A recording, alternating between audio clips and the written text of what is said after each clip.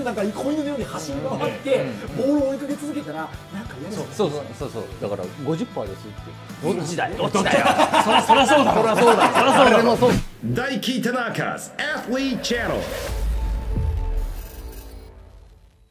さあ今回もアスチャンワールドカップスペシャルです。元サッカー日本代表の福西さんそして坪井さんをお迎えして中山剛さんもお迎えしてお伝えしておりますけれども。もう笑っちゃってそこちゃん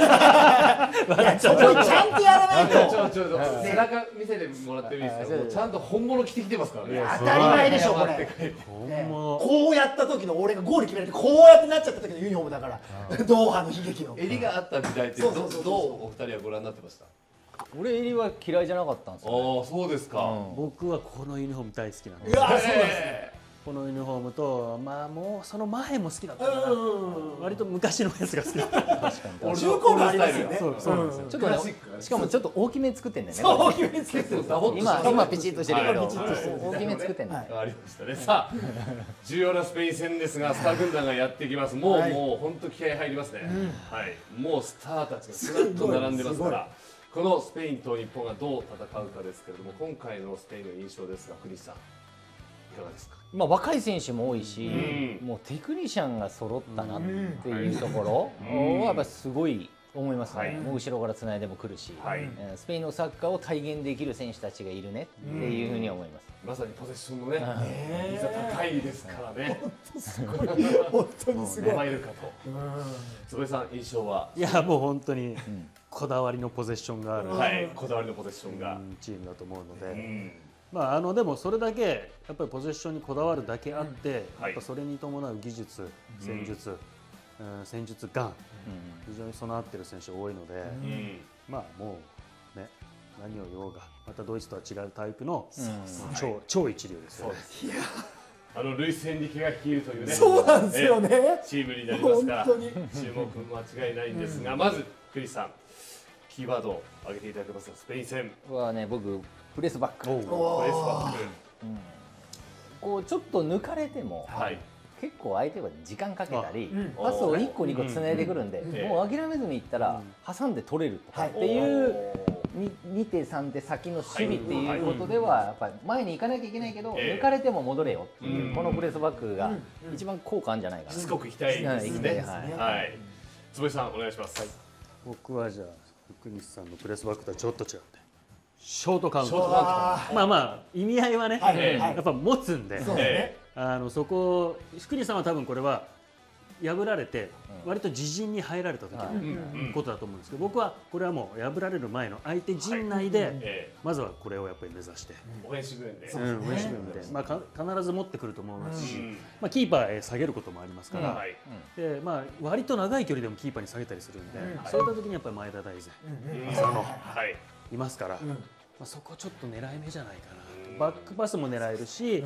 回す横パスのところで奪ってからのショートカウンターは、一番狙いやすいチームなのかなと。なるほど。解説者小宮さんは、いやいやいや今大会のスペインはどう見ていますか？やなんかこの例えばそのネーションズリーグとか見てても、本当に今回のディフェンスがやっぱり広がらない。まずセンターが広がらない、でサイドは上がらない、徹底してやってるじゃないですか、うん。だからそうするとさっき言った前田大然選手がカッワーンってなんか子犬のように走り回って、ボールを追いかけ続けたらなんか嫌ですよね。そうそうそうそう。なんか当たったらどうしようとかって思うからそれをずっと思い続けさせる。そう。そっか。だから走り回れる大手みたいな選手が2人ずっと走り回ってるツートップって面白いかもしれない、面白いかもしれないうん。まさにゴンさんですよ、ゴンさんがずっとプレッシャーかけたらミスったりとかするじゃないですか。まあ嫌なもんですか。ディフェンダーからして後ろかいやら。嫌ですよ。後ろは嫌ですか。嫌です嫌です、でまあやっぱりそれを意識しなきゃいけないんで、うん。来なければもう選択肢としてじゃあパスコースを探すだけで済むけど、ここ選択してる間にこれなんかこの辺から間接視野で来るわけですよ、そしたらここをやっぱり知らず知らずのうちに意識するってことは一瞬の判断が遅れるんで、やっぱそれでミスは起きてくる、そういう世界だと思うので。これディフェンダーからすると誰をマークしておきたいですか？スターがたくさんいる。あいやマークできないでしょ。これはさすがに。うんまあどうだろうね、まあ、もうブスケツがブスケツが出れば、はい。まあ、スピードという面ではないんで、あそこでガチャンって言って奪えて入れ替わると、ぐって戻ってくる速さはブスケツ多分ないんで、ーなるほどなるほど。なるほど。うん。チャンスはそこにありますか。そこ。スピードを殺しに行くっていうもしくはブスケツに入ってくるボール。うんうんを狙ってくるいくっていうのはちょっといいのかなという気はするんですけどね。センターバックに運ばれるときつい、うんそうなんですよね。いやーう。んそう。これ。それはされたくないですね。そうですよね。それ絶対ですね。なんか二度追いしたときに中に入れられて出られるとか、うんうんうんうん。ああするともう中盤はどうしようもない。ああダメだ。ああもう終わった。って確かに。それが怖いんだよな。嫌なイメージは抑えてくれるそうそう大丈夫ですよ。そうしたらプレスバック。ブレスバック。そうそうそうそう。逆から来いよ。はいはいだかはい。はいらどっかになったらもう諦めて一回下がるっていうルールもあった終わ方がいいよねりあれうんあれですあれああなるほどある程度ルール作っていくわけですもんね。間違いなく。まあ、ルールもそうだけどそこの判断ですよね、坪の言うもう時間ないから、はいはい。もうこれやめようとか、行こうっていうのをもうどれだけキャプテンシーじゃないけど言えるか、これ今日本代表にいないんですよ。これがね、まあ前はね長谷部選手がいましたもんね。いて誰か決めるとかだったんですけど、やっぱ試合の中でこれっていうのが今ないから、後ろじゃないんですよ、そう。結構そうその声を決定するのって、まあ、やっぱり後ろだと難しい。遠いよな。うん。ちょっと遠いんですよね、うん。うん。そうですよね。あのせっかくお二人お越しいただいたので、これ一番聞いちゃいけないことだと思うんですけども、ズバリ決勝トーナメント日本進出する可能性何パーセントぐらい？これは本当にもう全体的にってことでしょ、難しいですね。難しいですもうどっちもありえるんですよ、これ、勝ち点1取ったら結構上がる、まあ上がる、もう当たり前に、はい。もう7、80いけんじゃねえかと思っちゃうぐらい、はい。だけど、これ、ゼロやったら、もう10、20ぐらいじゃん、もう極端、僕だから結構みんもちろん初戦っていう言われ方もすごいしてるんですよ僕ね本当に2戦目のコスタリカも相当だと思ってて、はい。うんここでやっぱ勝ち点を3取れなかった時もうもうもうのはい絶望感は結構半端じゃないですけど、で引き分け引き分けできちゃったら、うんはーってちょっとなっちゃいますよ分かんないですよ、でも勝ち点、ドイツに3取ったら、コスタリカ敗れてもいいああなるわけですよ。ほどね。そうかそうか。あそういうパターンもあるから、はいなんで、それ2010年もそうでしょ、あそうですよね。うん確かに。負けても別にいいわけですよ、だからもう結果、やっぱり初戦がどうなのって話になるんで、もうドイツであろうが、コスタリカもスペインも、これは強いから、もう、はい。なんで、もう星感情はできないけれども、1戦目の1か3か0かで大きく、もう大きく変わる。坪井さんも同じです、うん。生パーセント何パーセントでこう決めたらすごいよね。台本がダメですね。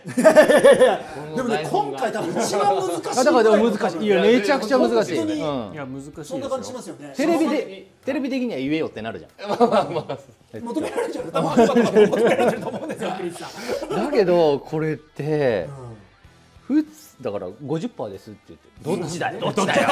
そそりゃそうだそりゃそうだ。そりゃ誰でもそうだろうみたいな言われるよ。パーセンテージは必ず条件がついて理由があるという言い絶対方してるんですね条件もなあるんで、そうっすよね。もうこれでさ言え30%って言ってもやっぱうん。あれじゃないですか、勝ち負け引き分けで大体、そうですよね、うん。どっちやねん。う。中途半端になるっちゃ中途半端になっちゃうんですよ。だからこれで言うと50%。米印付きのいややっぱりそうやっぱそうですよ。やっぱ50%ですよ。そうですね、ぜひ皆さんコメント結構 どっちだよ。たくさん来そうな感じがしますけどこれは難しい結局どっち？だ難しいなめちゃめちゃ難しいな本当に、はいさあということで今回も豪華糖質カット炊飯器が当たるワールドカップクイズご覧ください。糖質最大45%カット炊飯器ロカボを販売しております。株式会社44の角田と申します。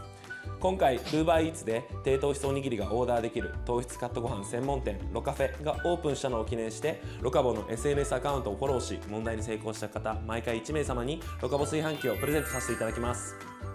当選者は配送をもってお届けさせていただきます。それでは今回の問題はこちらです。ワールドカップ最多となる通算16ゴールを記録した選手は？答えは締め切りまでにこちらの公式インスタグラムにお答えください。ふるってご参加ください。